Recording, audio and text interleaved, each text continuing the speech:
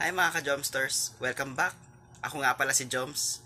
At sa araw na to, ituturo ko sa inyo kung saan nyo pa pwede gamitin ang inyong mga fragrance oils maliban sa perfume.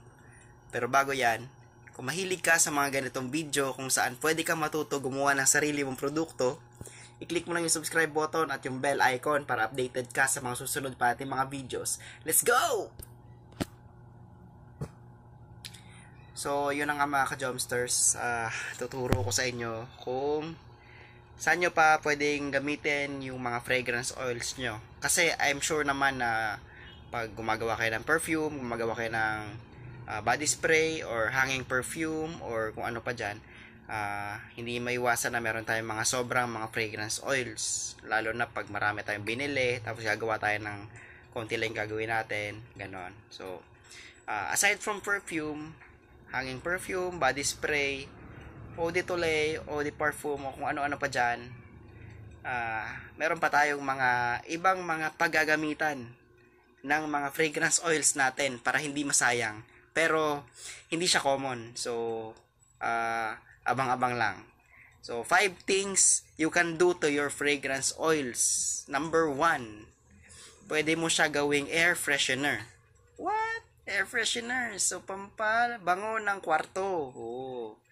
Yun. Paano siya gagawing air freshener? So, yung 10 ml na fragrance oil, ihalo mo sa 10 ml na ethyl alcohol. Tapos, yung mixture na yan, ilalagay mo sa uh, ah, 200 ml na spray bottle. Pero dapat may tubig na yun. Yung 200 ml na spray bottle. Yun. Shake well. After shaking, uh, pwede mo na siya spray sa kwarto. Oh. Pero bakit mo kailangan pa ihalo yung fragrance oil sa ethyl alcohol muna? Ba't di pwedeng diretso na lang siya sa water? Ganito kasi yan. Yung fragrance oil, oil siya. Yung water, tubig. So alam naman natin na oil and water don't mix. But ethyl alcohol and water, they can mix. Fragrance oil and ethyl alcohol, they can mix. So kailangan mo ng catalyst in between para mag-mix yung oil and water. Ha? O, di ba? Parang sabon. Kaya niyang gawing mag-mix yung oil and water. Number 2. Ah, pwede mo rin siya gawing toilet spray. Oo, toilet spray. Hindi siya pampabango ng uh, ah, CR nyo, ha? hindi. Pero same siya sa air freshener. Ang um, yung toilet spray is isi-spray mo siya sa bowl before ka gumamit ng bowl. Yon. Kung magbabawas ka or iihi ka, yon. Pwede mo siya spray before using the toilet. So, paano siya, paano tayo gagawa ng toilet spray? Simple lang. Same din sa air freshener. So, kailangan mo ng, uh, sa toilet spray, uh, kailangan mo ng uh, 5 ml na fragrance oil at saka 5 ml din na uh, ethyl alcohol. Tapos yung mixture nila is ilalagay mo sa 80 ml na spray bottle with water. So basically, same sa air freshener, kung ilan yung fragrance oil mo, ganoon din karami yung ethyl alcohol na i-mix mo. So, ilalagay mo sila sa 80 ml na uh, spray bottle with water. Tapos yung gagawin mo is uh, shake well and then spray two times in the toilet. Spray two times in the toilet uh, before doing your business and then you will be amazed how the uh, fragrance will mask the odor of your business. Number 3. Number 3. Pwede mo siya gawing carpet freshener. Ooh, bago yan ha. Ano yan? So, pag yung sahig ng kwarto nyo o ng bahay nyo, carpet, tulad ng sa kwarto namin, ayan. Oh, nandiyan yung baby ko. So, bantay bata ako ngayon eh. Wala akong magawa. Uh, yung sahig namin is carpet. Yan, carpet.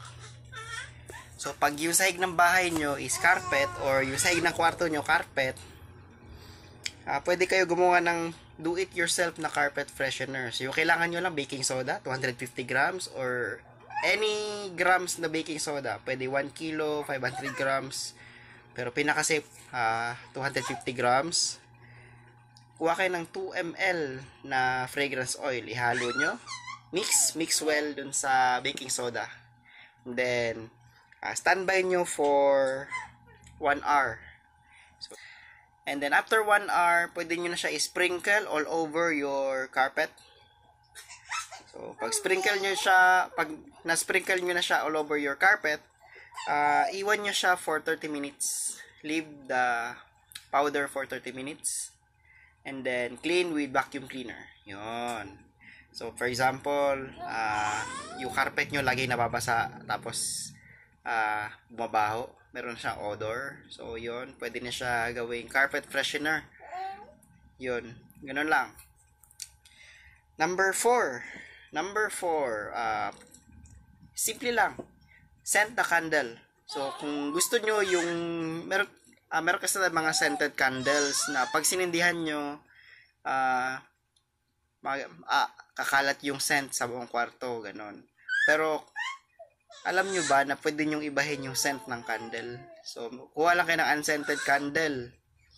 Kuha kayo ng fragrance oil na gusto nyo.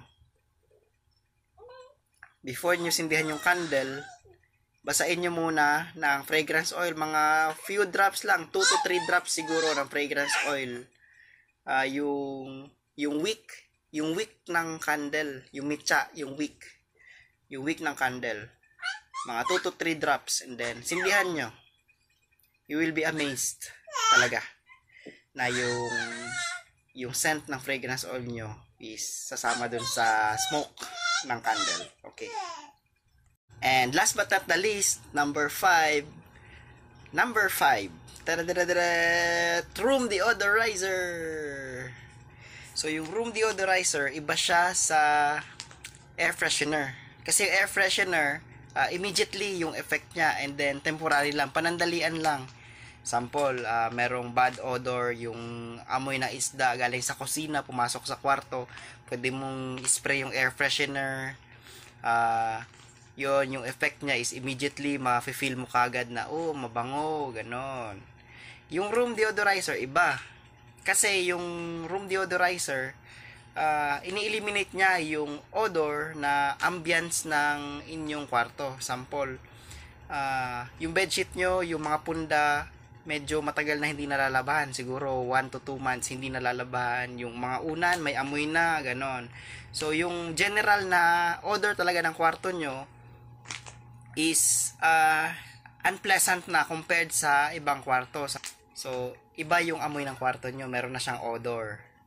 So, yung solution dyan is yung room deodorizer. So, paano ba gumagana tong room deodorizer? So, yung room deodorizer, same siya sa carpet freshener. Pero, magkaiba. So, sa room deodorizer, kukuha ka ng 10 ml na fragrance oil, 250 grams na baking soda, imimix mo yung dalawa. Tapos, pag mix mo ng dalawa, uh, you will let it sit for around 1 uh, hour. Yon. So, pag after 1 hour, pwede mo na siyang i-transfer sa container na may lid na yung lid na may butas, yung may holes para sumingaw yung uh, baking soda at saka yung fragrance oil. Yon. Yung gagawin nyo lang dyan is isa-standby nyo lang yan sa loob ng kwarto nyo. Shh! Kamaingay, nag-vlog ako. So, yung gagawin nyo lang dyan is, is, is standby nyo yan sa loob ng kwarto nyo and then it will eliminate the odor of your room. So, that's it. That's our top uh, 5 things you can do to your fragrance oil para mas lalo nyo pang ma-utilize yung fragrance oil nyo, hindi puro perfume lang. So, if you like what you saw, please click the subscribe button and the bell icon para updated ka sa mga susunod natin mga videos. Bye-bye!